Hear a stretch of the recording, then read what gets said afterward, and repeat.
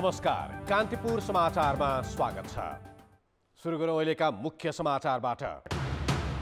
विवादित दशौं महाधिवेशन आयोजक समिति भङ्ग गर्दै एमाले बोलायो पचहत्तर जेठ तिन अघिको केन्द्रीय समितिको बैठक पार्टी एकताका लागि प्याकेजमै सहमति हुनुपर्ने नेपाल पक्षको छ। कोरोनाका कारण आज एकचालिसजनाको ज्यान गयो दैनिक सङ्क्रमित अठार सय नाघे जनसङ्ख्याको अनुपातमा महामारीको क्षति भारतमा भन्दा बढी।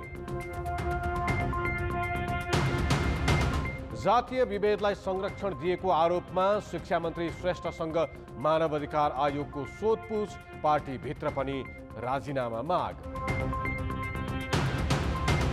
भारतीय खोप खरिदमा ठूलो अनियमितता भएको आशंकामा ब्राजिलद्वारा आपूर्ति प्रक्रिया स्थगित राष्ट्रपति बोल्सोनारो पनि छानबिनमा। र पाँचौँ वरियताकी बियङ्का विम्बलडन विम्बल्डन टेनिसको पैलो चरण बाहिरिन् बिना वरियताकी एलिजा कर्नेट दुई सेटले विजयी।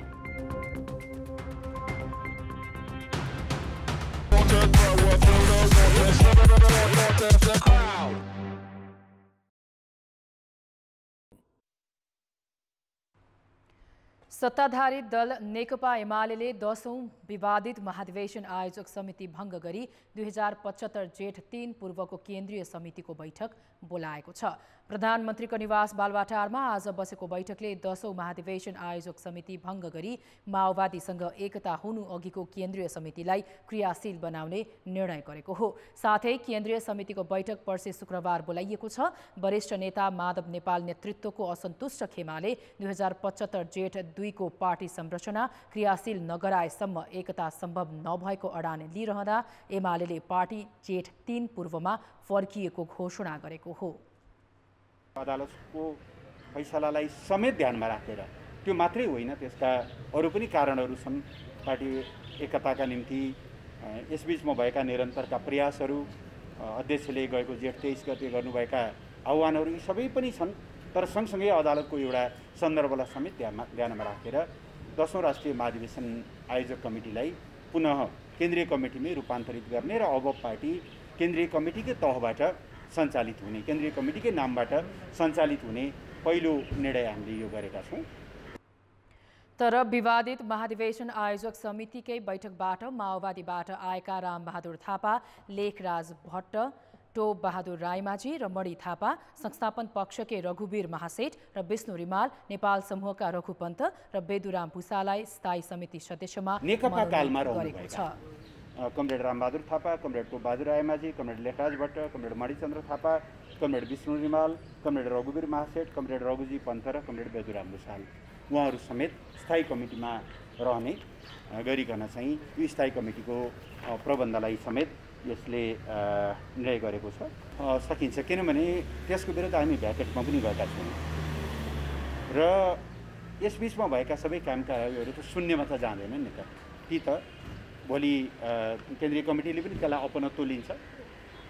त्यस कारणले त्यसमा कुनै वैधानिकताको प्रश्न हुँदैन सर्वोच्च अदालतले फागुन तेइसमा एमालेलाई माओवादीसँग एकता हुनु अघिको अवस्थामा फर्काएपछि ओलीले फागुन अठाइस गति अध्यक्ष र महासचिव बाहेकका सबै पद खारेज गरी महाधिवेशन आयोजक समिति घोषणा गरेका थिए। तर सर्वोच्चले अर्को एक रिटमा यस समितिले गरेको कार्यवाहीलाई मान्यता नदिएपछि ओलीलाई पुरानो संरचना बिउताउन दबाव परेको थियो। नेकपा एमाले संस्थापनले जेठ तीन पूर्वको केन्द्रीय कमिटी बैठक बोलाउने निर्णय गरे पनि माधव नेपाल पक्षले भने यसलाई एक पक्षीय निर्णय भनेको छ। आज बानेश्वरमा एक भेलामा भएको छलफलपछि नेपाल पक्षका नेताहरूले अध्यक्ष केपी शर्मा ओलीले एक पक्षीय रूपमा बैठक बोलाएकोमा सहमति जनाउँदै दुवै पक्षको सहमतिमा मात्र केन्द्रीय समिति बैठक बोलाउन सकिने प्रतिक्रिया दिएका छन्। जेठ दुईमा फर्कने विषय प्राविधिक भए पनि स्थानीय तहदेखि प्रदेश र प्रतिनिधि सभा निर्वाचनसम्म दुवै पक्षका नेताहरूको उम्मेद्वारी सुनिश्चित गरेर अग्रिम सहमति हुनुपर्ने नेपाल पक्षको भावना तोडेर जुन संवैधानिक नियुक्तिहरू गरियो ती सबै कुरा चाहिँ उल्ट्याउने गरी। किन संविधान विपरीत भएपछि उल्ट्याउनु पऱ्यो त्यसरी यी सबै प्याकेजमा चाहिँ एकता हुनुपर्छ र आउने स्थानीय निर्वाचन र प्रदेश र सङ्घको निर्वाचनमा अ, कमसे कम अ, दुवै पक्षको हस्ताक्षर चल्ने गरी। यो चाहिँ नि टिकट वितरणदेखि लिएर सबै कुरा हुनेछ कार्यकर्ता अन्यायमा पर्ने छैनन्। यो कुनै प्राविधिक कुरा होइन पदीय कुरा होइन किनभने राजनीतिमा चाहिँ एउटा पक्षले चाहिँ सधैँभरि माथि पर्यापरि गर्ने दलै गर्ने र अर्काले चाहिँ नि चुप लाएर बसिदिनु पर्ने र अनि त्यसपछि त्यो समूहले चाहिँ के भन्ने भने पदीय कुरा हो। आफूले सबै चाहिँ कब्जा गराए गरी गर्ने अर्कालाई चाहिँ पदीय कुरा गरिस् भन्ने त्यो कुराबाट चाहिँ राजनीति हुँदैन भन्ने कुरा चाहिँ हाम्रो बिचमा चाहिँ उठाएको थियो। संस्थापन पक्षको पेलाइले पार्टीभित्रै किनारामा पुगेको नेकपा एमालेको असन्तुष्ट समूह विवादित मुद्दा र मागबारे आफै विभाजित बनेको छ। वरिष्ठ नेता माधव नेपाल नेतृत्वको यो समूहभित्र एमालेकै मूलधारमा मिसिएर अन्तरसङ्घर्ष गर्ने या नयाँ पार्टी बनाएर अघि बढ्ने भन्नेमा मतभेद देखिएको छ। नेकपाको दत्ता खारेजीपछि बिउतिएको एमालेमा चार महिनादेखि फरक मत राखेर समानान्तर गतिविधि गर्दै आएको नेपाल समूह यतिखेर तीन धारमा विभाजित देखिएको छ। अध्यक्ष केपी शर्मा ओलीले अघि सारेको एकता प्रस्तावलाई लिएर असन्तुष्ट खेमा एकमत हुन नसकेको हो। ओलीको व्यवहार र शैलीका कारण एमालेमा रहन नसकिने निष्कर्षमा वरिष्ठ नेता नेपाल आफै छन्। उनीसहित एक दर्जन केन्द्रीय तहका नेताहरू नयाँ पार्टी बनाउनु पर्ने र भविष्यमा माओवादीसँग मिलेर जानुपर्ने पक्षमा छन्। यस समूहको नेतृत्व गरेका नेपाललाई भीम रावल अष्टलक्ष्मी साक्य युवराज गेवाली बेदुराम भूषाल रघुजी पन्त र अमृत बोहरा लगायतले साथ दिएका छन्। यस्तै जगन्नाथ खतिवडा राजेन्द्र राई रामकुमारी झाँक्री विजय पौडेल विरोध खतिवडा जीवनराम श्रेष्ठ र मेटमणि चौधरी पनि नेपालसँगै छन्। एमालेमा एकता नै गर्ने हो भने आगामी चुनावी उम्मेद्वारसम्मको प्याकेजमै सहमति हुनुपर्ने शर्त उनीहरूको छ। संविधानका मर्म र भावना तोडेर जुन संवैधानिक नियुक्तिहरू गरियो ती सबै कुरा चाहिँ उल्ट्याउने गरी। किन संविधान विपरीत भएपछि उल्ट्याउनु पऱ्यो त्यसरी सबै प्याकेजमा चाहिँ एकता हुनुपर्छ र आउने स्थानीय निर्वाचन र प्रदेश सङ्घको निर्वाचनमा कमसेकम दुवै पक्षको हस्ताक्षर चल्ने गरी यो चाहिँ नै टिकट वितरणदेखि लिएर सबै कुरा हुनेछ कार्यकर्ता अन्यायमा पर्ने छैनन्। यो कुनै प्राविधिक कुरा होइन पदीय कुरा होइन किनभने राजनीतिमा चाहिँ एउटा पक्षले चाहिँ सधैँभरि माथि पर्यापरि गर्ने दल्या दलै गर्ने र अर्काले चाहिँ नि चुप लाएर बसिदिनु पर्ने र अनि त्यसपछि त्यो समूहले चाहिँ के भन्ने भने पदीय कुरा हो आफूले सबै चाहिँ कब्जा गराए गरी गर्ने अर्कालाई चाहिँ पदीय कुरा गरिस् भन्ने त्यो कुराबाट चाहिँ राजनीति हुँदैन भन्ने कुरा चाहिँ हाम्रो बिचमा चाहिँ उठाएको थियो। तर नेपाल समूहकै केही प्रभावशाली नेता अब एमाले भित्रै अन्तर सङ्घर्ष गरेर स्थापित हुने योजनामा छन्। यस समूहमा सुरेन्द्र पाण्डे योगेश भट्टराई भीम आचार्य र गोकर्ण विष्ट छन्। यी चारैजना पार्टीको विवाद मिलाउने भन्दै संस्थापन पक्षसँगको अनौपचारिक संवादमा जोडिएका छन्। पार्टी छोडेर अलग हुँदा राजनीतिक अस्तित्व नै समाप्त हुने भन्दै अध्यक्ष ओलीको एकता प्रस्तावलाई स्वीकारेर पार्टीभित्रै सङ्घर्ष गर्नुपर्ने उनीहरूको जोड छ। अर्को तेस्रो धारको नेतृत्व गरेका छन् नेता घनश्याम भूषालले। अध्यक्ष ओली सुध्रिनेमा विश्वस्त हुन नसकेका भूषाल अलग विचार समूह बनाएर छुट्टै बस्ने योजनामा छन्। भूषाललाई अर्को युवा नेता ठाकुर गैरेको साथ छ। असन्तुष्ट धारका नेताहरू नै तीन धारमा उभिँदा वरिष्ठ नेता नेपाल झन कमजोर हुने र अध्यक्ष ओली एमालेमा बलियो बन्ने देखिन्छ। तर यसले एमाले पुरानै शक्ति सहित एकताबद्ध हुने सम्भावना भने छिन बनेको छ। कान्तिपुर समाचारका लागि क्यामरामा रूपक कोरेलाका साथ दशरथ राई काठमाडौँ।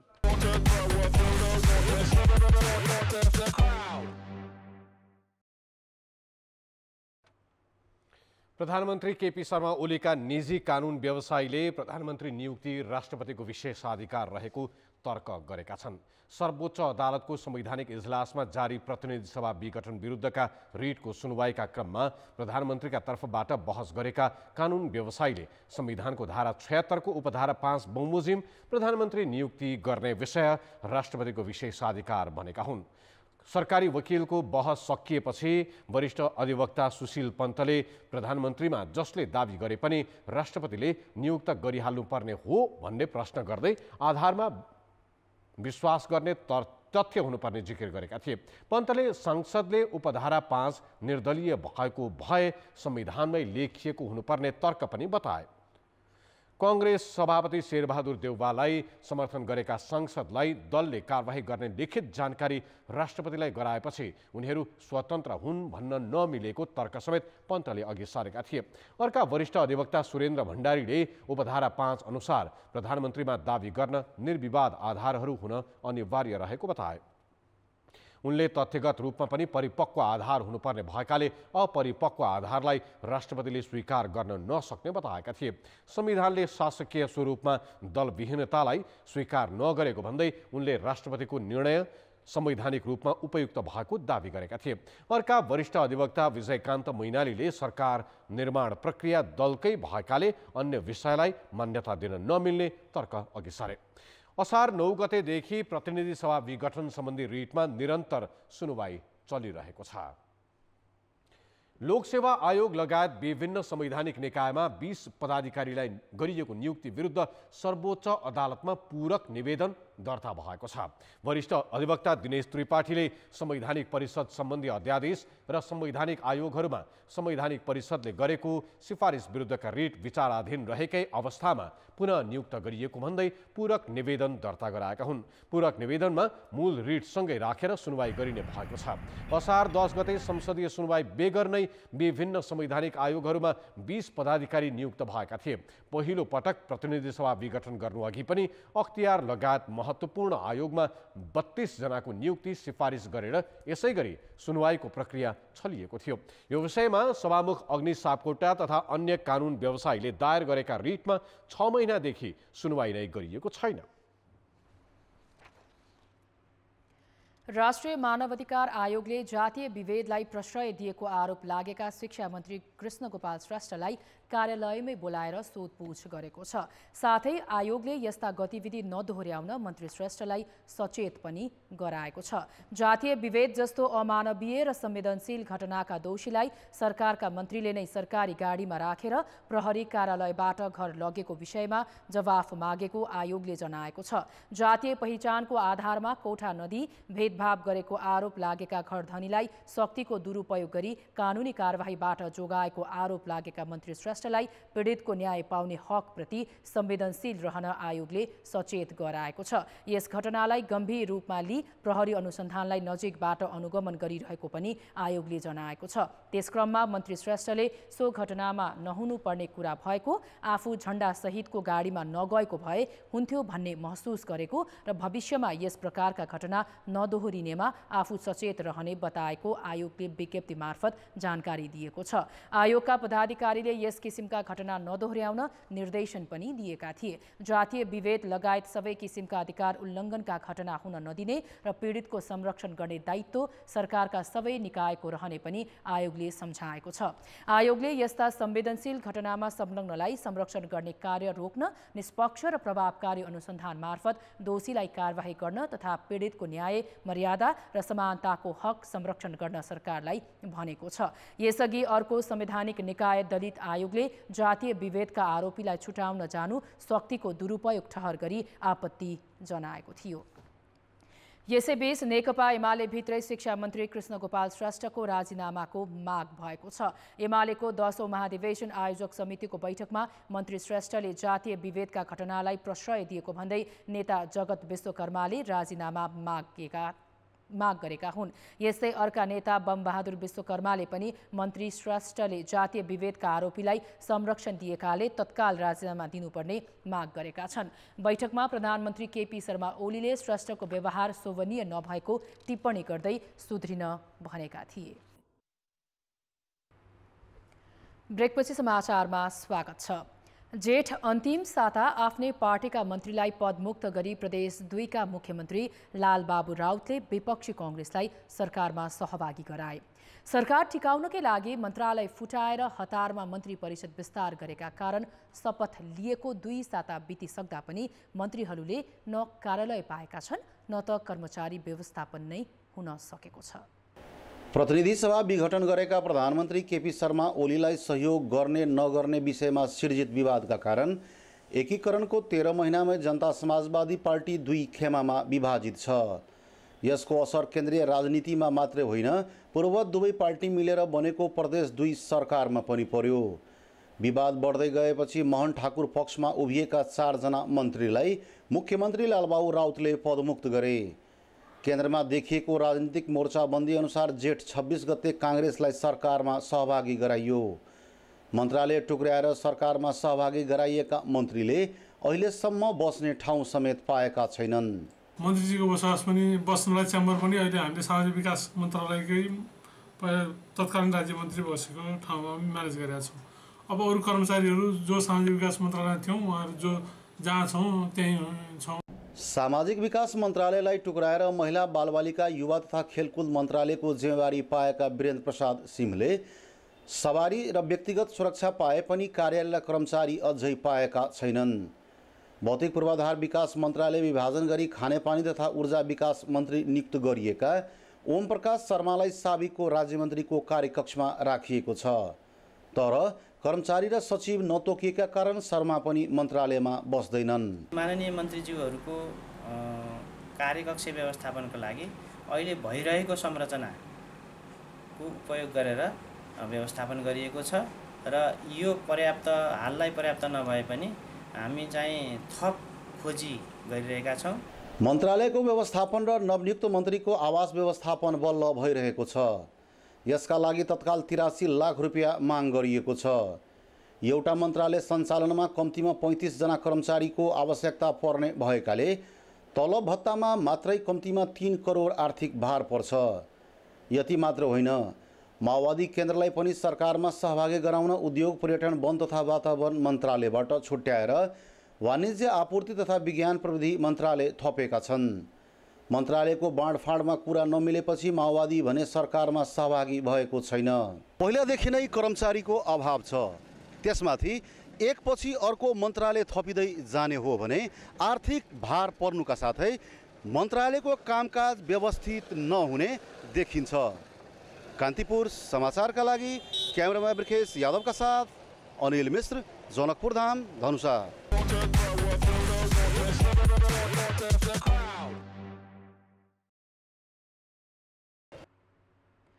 कङ्ग्रेस महाधिवेशन नजिकिँदै गर्दा नेताहरूको सक्रियता पनि बढ्दैछ। उपसभापति विमलेन्द्र निधि महामन्त्री शशाङ्क कोइराला र केन्द्रीय सदस्य प्रकाश मान सिंहको पछिल्लो सक्रियता नेतृत्व र नयाँ समीकरणको वरिपरि केन्द्रित छ। के नेतात्रयले साँच्चै नयाँ समीकरण बनाउलान् त? नेपाली काङ्ग्रेसको दोस्रो पुस्ताका नेतामध्ये विमलेन्द्र निधि शशाङ्क कोइराला र प्रकाश मान सिंह। कर्मश महेन्द्र नारायण निधि बिपी कोइराला र गणेशमान सिंहका छोरा हुन्। उल्लेख्य साङ्गठनिक पकड र विरासत दुवै भएका यी तीनै नेताले चौधौँ महाधिवेशनमा सभापतिको आकाङ्क्षासहित नयाँ समीकरणको पहल थालेका छन्। फलस्वरूप पालै पालो लन्च मिटिङ गरेर साझा उम्मेद्वारका लागि प्रयास गरिरहेको छनक दिन खोजेका छन्। तर अहिलेसम्म आफै फरक फरक धारमा रहेकाले महाधिवेशन लक्षित नयाँ समीकरणमा ठोस सहमति भने भइसकेको छैन। यसरी छलफल गरेर हुन त अब यो चाहिँ देशव्यापी रूपमा यसले एउटा चाहिँ एट्र्याक्सन त अब ड्र गरेको छ छ। छलफलको दायरालाई चाहिँ अलि विस्तारित गर्नु पर्यो। र अब चाहिँ आउने शुक्र शुक्रबारको दिनमा अब हाम्रो चाहिँ महामन्त्री हाम्रो चाहिँ डाक्टर शशाङ्क कोइरालाजीको यो टोखा निवासमा हाम्रो चाहिँ पार्टीका नेपाली कङ्ग्रेसको सबै केन्द्र स- सदस्यज्यूहरूलाई चाहिँ निमन्त्रणा गरेर गर्ने। निधि कोइराला र सिंहको सक्रियता र उनीहरूबीच हुने सहमतिले काङ्ग्रेसको नेतृत्व पुस्तान्तरण गर्न मद्दत पुग्ने अपेक्षा पनि केही कार्यकर्ता पङ्क्तिमा छ। तर उनीहरू नै आफ्नो समूहबाट सर्वसम्मत सभापतिका उम्मेद्वार बन्ने सङ्केत फेला परिसकेका छैनन्। बरु सभापति शेरबहादुर देउबा र वरिष्ठ नेता रामचन्द्र पौडेल आफै आकाङ्क्षी देखिएका छन्। संविधानले संस्थागत गरेका परिवर्तनमा बलियो अडान राख्ने निधि र गणतन्त्र र धर्मनिरपेक्षताबारे बेला बखत विपक्षमा बोल्ने कोइराला एउटै कित्तामा उभिएर सहकारले गर्लान् भन्नेमा त झन् कमैलाई विश्वास छ। बिपीको पुत्र र गणे- गणेश मान्छे पुत्रहरूको बिचमा पनि भयो भने त्यो पनि राम्रै सङ्केत हुन्छ। त्यो एउटा भइदियो भने त्यसले मेसेज पनि राम्रै दिएला। त्यति मात्रै गर्न सके पनि। त्यसपछि अझ हाम्रो महेन्द्र नारायणजीको पुत्र पनि ल्याउन सक्यो भनेदेखि त झन् राम्रो भयो। तर त्यो बेलाको परिस्थिति बेग्लै थियो उहाँहरूको सङ्घर्षको बेला थियो। यो त सत्तामा जाने बेला छ। त सत्तामा जाने बेलामा कति मित्रता कायम हुन्छ त्यो चाहिँ अब हामीले हेरौँला। विमलेन्द्र निधिले सुरुवात गर्नुभयो। त्यसपछि सत्सङ्ग गाउँ पुगिसकेपछि प्रकाश मान्छे गाउँ पुग्यो पालो एक एक राउन्ड पुग्यो। तर मलाई लाग्छ यी तिनैजना कोही एक्लै अर्कालाई छोड्नेवाला छैनन्। कसैले एक्लै अर्कालाई मान्नेवाला छैनन्। काङ्ग्रेसमा धेरैले आलोचना गरे पनि विरासतको छुट्टै प्रभाव छ। त्यसैले पनि उपसभापति निधि र सिंह विद्यार्थी राजनीतिदेखि नै खारिएर आएका र बिपी पुत्रका रूपमा उदाएका कोइराला समेत मिलेर नयाँ गुट बनाउँदा त्यसले अहिलेको संरचनालाई बलियो धक्का त दिन सक्छ। तर नेताका सन्तान भएकै आधारमा नेतृत्व खोज्ने प्रवृत्तिलाई पार्टीमा गणतन्त्र आउन नदिने खेल भनेर टिप्पणी गर्ने पनि कम छैनन्। यो स्थितिमा नेता पुत्रको सहकार्य होला नहोला तर काङ्ग्रेसलाई बलियो बनाउने हो भने नीति र नेतृत्वमा परिवर्तन भने अपरिहार्य जस्तै देखिएको छ। कान्तिपुर समाचारका लागि क्यामेरामा विकास जोशीका साथ डिपी उपाध्याय काठमाडौँ। निषेधाज्ञा खुकुलो पारिएपछि कोभिडका कारण सङ्क्रमित र मृतक दुवैको सङ्ख्या उल्लेख्य बढेको छ। स्वास्थ्य मन्त्रालयका अनुसार पछिल्लो चौबिस घन्टामा कोभिडका कारण एकचालिसजनाको मृत्यु भएको छ। अठार सय उनानब्बेजना सङ्क्रमित थपिएका छन्। एकहत्तर सयजनाको पिसिआर परीक्षण गर्दा छब्बिस प्रतिशतमा बढी छब्बिस प्रतिशतभन्दा बढीमा भाइरस देखिएको छ।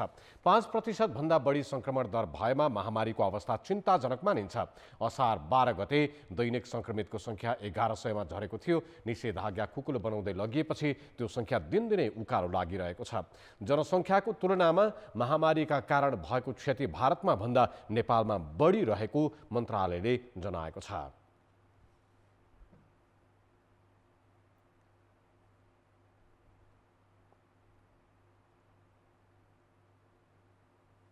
काठमाडौँ उपत्यकामा मात्र आज पाँच सय बहत्तरजना सङ्क्रमित थपिएका छन्। कोभिड सङ्क्रमित मध्ये तिस हजार पाँच सय चौवालिसजना घरमै छन्। तिन हजार सत्रजना संस्थागत आइसोलेसनमा छन् भने छ सय सत्रजना आइसियुमा र एक सय पचहत्तरजना भेन्टिलेटरमा उपचार गराइरहेका छन्। स्वास्थ्य मन्त्रालयका अनुसार कोभिडका कारण मृत्यु हुनेको सङ्ख्या नौ हजार एक सय बाह्रजना पुगेको छ। नेपालमा कोरोना विरुद्धको खोप ल्याउन सरकारले गरेका प्रयासहरूले सार्थकता पाउन सकेका छैनन्। सम्बन्धित मन्त्रालयदेखि राष्ट्रपतिले सम्मले खोप सहयोग तथा खरिदका लागि पहल गर्दा पनि नतिजा शून्य छ। खरिद सम्झौता भइसकेका देशले पनि खोप उपलब्ध नगराउँदा पहिलो डोज लगाएर दोस्रो डोजको प्रतीक्षा गरिरहेकाहरू अन्यलमा छन्। बाँकी जनसङ्ख्याले त पहिलो खोप नै कहिले पाउने कुनै अत्तो पत्तो छैन। कोभिड उन्नाइसको ठोस उपचार पत्ता लागिसकेको अवस्था छैन। कोरोना सङ्क्रमणको जोखिमबाट जोगिने एक मात्र उपाय यस विरुद्धको खोप हो। तर नेपालले खोप व्यवस्थापन गर्न नसक्दा कोरोना सङ्क्रमणबाट थप क्षतिको जोखिम कम भएको छैन। नेपालले भारतीय कम्पनी सिरम इन्स्टिच्युटसँग बिस लाख डोज खोप खरिद गरेको थियो। त्यसमध्ये दस लाख मात्रै हालसम्म उपलब्ध भएको छ। बारम्बार ताकेता गर्दा पनि बाँकी खोप भारतले दिएको छैन। देशभित्र महामारी घट्दै गएपछि भारतले अरू छिमेकी देशलाई खोप दिन थाले पनि नेपाल उसको प्राथमिकतामा देखिँदैन। त्यस्तै नेपालले चिनिया कम्पनी सिनोफार्मसँग साढे दुई महिनाको अवधिमा चालिस लाख डोज भेरोसेल खोप खरिद गर्ने समझदारी गरेको भनिएको छ। यसअनुसार नेपालले आफ्नो अनुकूलतामा यही जुन महिनाभित्र दस लाख जुलाईमा बिस लाख र अगस्तमा दस लाख डोज खोप ल्याउन सक्ने गरी सम्झौता भएको भनिएको थियो। तर जुन महिना सकिन लाग्दा पनि खोपको अत्तो पत्तो छैन। सम्बन्धित विभिन्न निकायहरूले पनि समन्वय गरेर खोप ल्याउने सन्दर्भमा कामहरू गरिराख्नु भएको छ। सङ्केतहरू सकारात्मक भए पनि हामीले अहिले कुरा गरिरहँदा ठ्याक्क यो मितिमा यहाँबाट यो खोप यति मात्रामा आउँछ भनेर सुनिश्चित रूपमा हामीले भन्न चाहिँ सकिहाल्ने अवस्था छैन।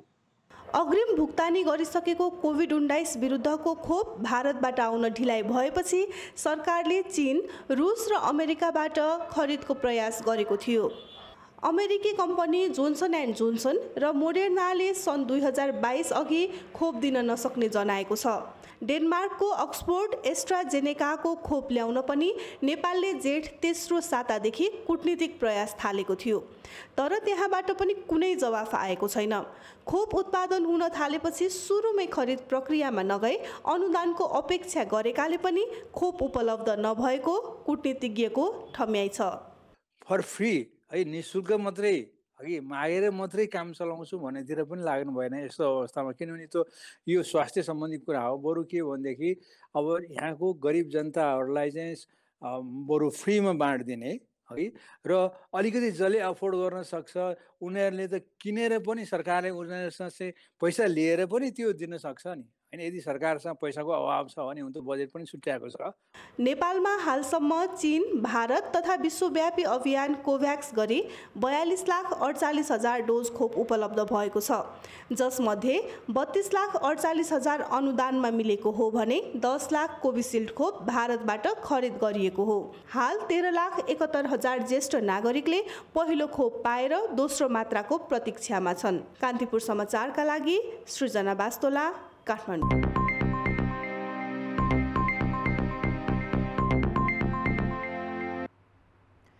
भनिन्छ मानो रोपेर मुरी फलाउने महिना हो असार। तर तिनाउको बाढीले सिँचाइ प्रणालीको मुहान पुरिदिँदा रूपन्देहीका किसानले मध्य असारसम्म धान रोप्न पाएका छैनन्।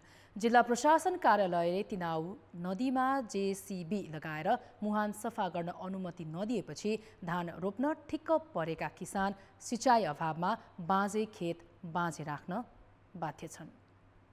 जेठ तिसमा वर्षासँगै आएको बाढीले तिनाउ नदीको जितगढीबाट पश्चिमतर्फ जाने चार तफा सिँचाइको मुहानमा नदीजन्य पदार्थ थुपारेर छेकिदियो जसले चार तफाबाट सिँचाइ हुने रूपन्देहीको बुटबल उपमहानगरपालिका सहित शुद्धोधन र सियारी गाउँपालिकामा करिब पाँच हजार हेक्टर क्षेत्रफलमा सिँचाइका लागि पानी गएको छैन। असार पहिलो हप्तामै रोपिसक्ने खेत मध्य असारसम्म बाँझै छ। तपाईँको गिटी बगर थुप्रेर बसिएको छ गिटी बगर चाहिँ पन्छानलाई चाहिँ डोजर लाउनु पऱ्यो डोजर लाउनुलाई चाहिँ सिडिओको चाहिँ स्वीकृति लिनुपर्ने। बारम्बार चाहिँ हामी चाहिँ डेलिगेसन जाँदा पनि आज होइन भोलि होइन भने गर्ने। यस्तो गरेपछि खेतीपाती यतातिर चाहिँ यहाँ गेजार गरेर खेत सुकिया छ बिउहरू सुकिया छन्। हामीहरूले यसरी नै बसिरहेछौँ कतिका बिउहरू सु सुकाएर राख्नुभएको छ कतिका खेतहरू फुटिराखेका छन् गेजर गरेका खेतहरू होइन? चुरेबाट भेल लिएर आउने तिनाउ नदीमा मुहान रहेको चार तपाहा सिँचाइमा अरू बेला समस्या आउँदा किसानहरू आफैले श्रमदान गरेर सफाइ गर्थे। यसपालि भने सिँचाइ प्रणालीको मुहान नै छेकिएकाले इस्काबेटर लगाएरै नदीजन्य पदार्थ हटाउनु पर्नेछ। किसान आफैले इस्काभेटर चलाउन नपाउने भएपछि अनुमतिका लागि स्थानीय तह र जिल्ला प्रशासन कार्यालयसँग सहयोगको याचना गरेका हुन्। तर किसानको याचना कसैले सुनेको छैन। यो सिँचाइको सन्दर्भमा किसानको जेन्युन समस्या हो। यो एकदमै तत्काल गर्नुपर्छ भन्ने खालको कुरा भन्दा पनि अरू नै केही हो कि भन्ने शङ्का गर्ने बर्खायाममा नदीजन्य पदार्थ निकाल्न नदीमा इस्काभेटर नचलाउनु नियमसङ्गत हो। तर मुख्य बाली धान लगाउने समयमा बिग्रेको सिँचाइ प्रणाली बनाउन पनि त्यही नियम लगाउँदा किसानले धान रोप्न नपाएको समस्या मात्र होइन। हाम्रा नीति कति धेरै अव्यवहारिक छन् र व्यावसायिक कृषि एवं किसान विरोधी छन् भन्ने स्पष्ट देखाउँछ। कान्तिपुर समाचारका लागि क्यामेरामा स्वस्तिक श्रेष्ठका साथ अमृता अनमोल बुटबल रूपन्देही। सेयर बजार परिसूचक नेप्से बुधबार चार दशमलव एक तिन प्रतिशतले घटेको छ। परिसूचक दुई हजार आठ सय तेइस दशमलव आठ सात अङ्क कायम हुँदा कारोबार रकममा भने ठुलो गिरावट आएको छ। जेठको अन्तिमतिर साढे उन्नाइस अर्ब पुगेको कारोबार आज पाँच अर्ब त्रियासी करोडमा सीमित भएको छ। बजारमा दुई सय बिस कम्पनीको एक करोड बैसठी लाख किता अडसठी हजार एक सय बयानब्बे पटक किनबेच भयो? ब्याङ्क व्यापार होटेल लघुवित्त जीवन बिमा सामूहिक लगानी समूहको परिसूचक घटेका छन्।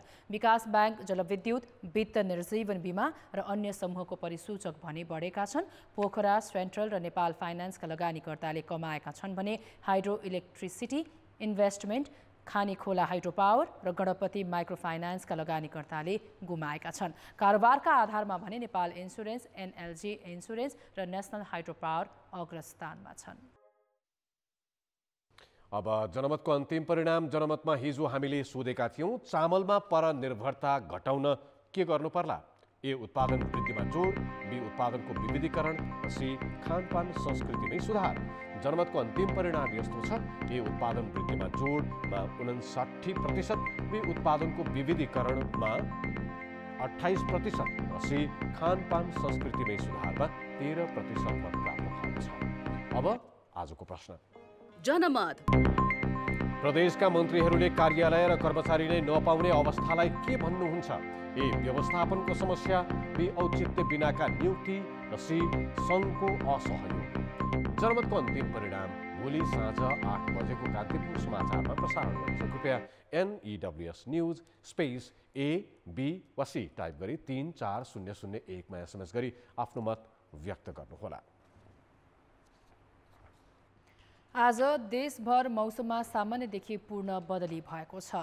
मौसम पूर्वानुमान महाशाखाका अनुसार सुदूरपश्चिमको एक दुई स्थान बाहेक अधिकांश स्थानमा वर्षा भएको छ।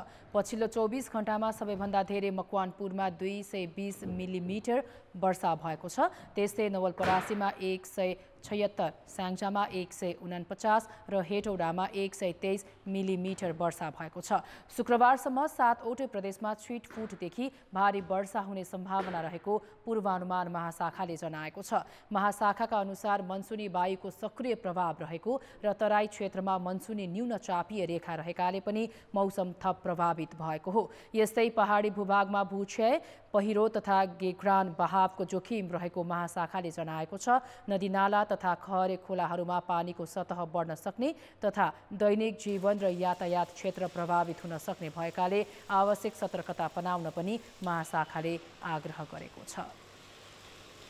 अब जनताको आवाज गत वर्षको भदौ सत्र गते बागलुङको भुजी खोलामा आएको बाढी पहिरोका कारण विस्थापित परिवारहरू अझैसम्म सुरक्षित स्थानमा स्थानान्तरण भएका छैनन्। हामीले विस्थापितलाई सोधेका छौँ तपाईँहरू कसरी बस्नु भएको छ? जनताको आवाज। सरकार कहाँ छ हामीले हामी जङ्गलीले क्या जानेछौँ? दरबारमा छन् कि पनामा छन् कि? हँ? कहाँ छन् अब हामी त जङ्गली त भयौँ उनको लाकरचार त भयौँ। त्यसो भयौँ। त्यो गरेरमा क्या गर्ने बल्बहरू पनि चाप्ने सरकारले पनि चाप्ने। माटा छाए छाएर यसमै बसिरहेको। अब यताबाट पनि भल आउँछ तलबाट पनि भल आउँछ त्यो अलिअलि खाटसाट बनाएर त्यही माथि। बसिरहेछौँ जुन बस्ने घरको अवस्था यस्तो छ सरकारले पनि के भन्ने हो र अब त्यत्रा जग्गा गए घर गए हामी गोठमा बसेर दिन खतनी गरेर पनि हाम्रो दिन जान्न धेरै जस्तो बाढी आइरहन्छ अनि यो घर अझ बसेको थियो तिनवटा घर त लैसक्यो एउटा बसेको त्यसमा अलिकति त्यही केही ढुङ्गा अलिकति बनाउने हाम्रो योजना छ क्या त्यति अब भनिएर साध्य छैन एउटै सुरक्षित ठाउँमा बस्ने बस्नुको व्यवस्था गरिदिने मेरो गरिब दुखीहरूले खाना लाउन बस्नको व्यवस्था गर्ने त्यही हो हाम्रो सरकारले धेरै सहयोग गर्नु भएको छैन। हामी यस्तो खोलाकोमा डराइ डराइ बस्नु परेको छ।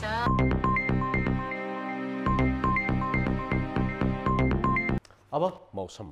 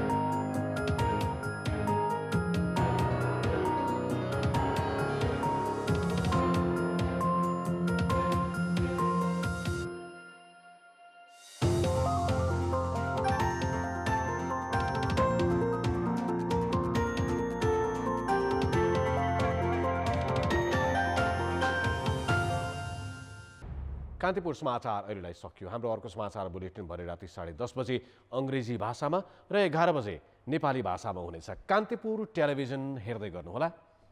नमस्ते।